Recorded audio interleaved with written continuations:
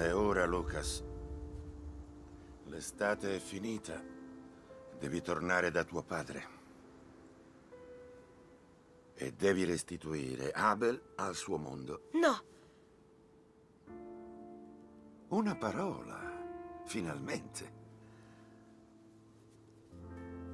Abel ha il suo istinto. Lui ricorda com'era la vita selvaggia.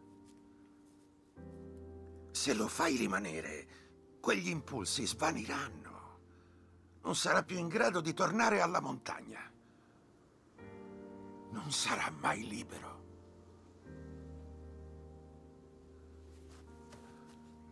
È questo che vuoi?